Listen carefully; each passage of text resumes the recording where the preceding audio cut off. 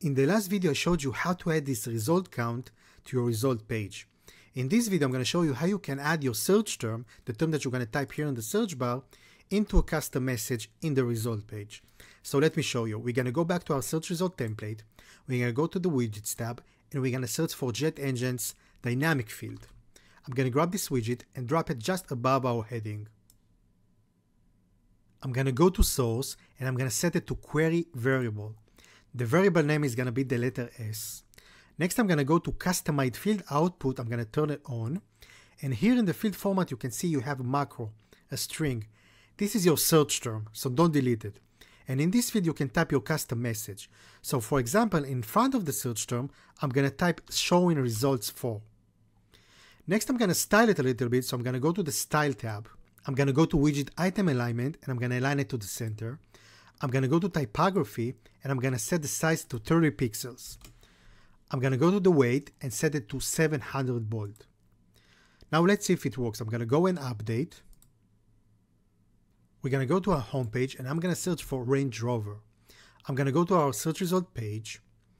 And as you can see, the search term appears in the message. Cool, right? Now let me show you another thing you can do.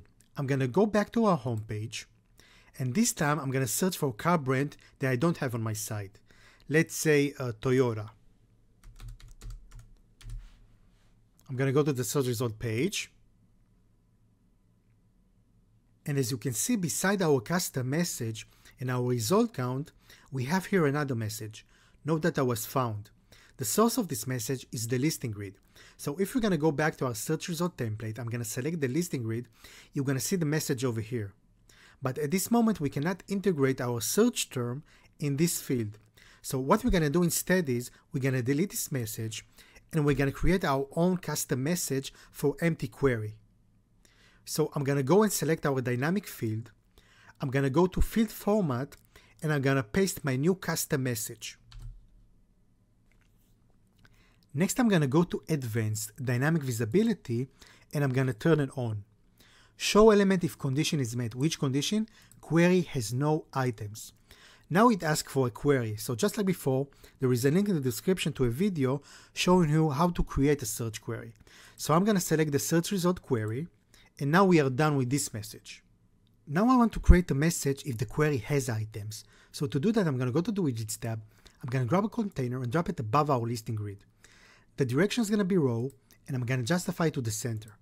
Next, I'm going to grab the result count heading and drop it into this container. I'm going to go to title and I'm going to click the query results count, advanced, and in the after field, I'm going to add the word more after results. Great, now I'm going to select the dynamic field widget, I'm going to duplicate it and also drop it into this container. Next, I'm going to go to field format and I'm going to delete everything except our macro, which is our search term. Next, I'm going to go to Advanced, Dynamic Visibility, and I'm going to turn it off. Now to fix this alignment problem, I'm going to select this heading, I'm going to go to Advanced, Align Self, Center. I'm going to also select this container, I'm going to go to Gap Between Elements and give it a 5. Now let's go to Advanced, Dynamic Visibility, turn it on, show element if condition met which condition, query has items. Which query? The search result query. Now we where's the big moment. Let's see if everything works. I'm gonna update. I'm gonna go to my homepage and I'm gonna search for Toyota, which I don't have on my site.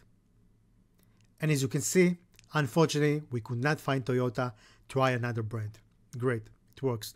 We're gonna go back. And this time I'm gonna search for Lamborghini, which I do have on my site. And as you can see, there are three results more. It's a mistake, it's supposed to be for here. There are three results for Lamborghini, so change it.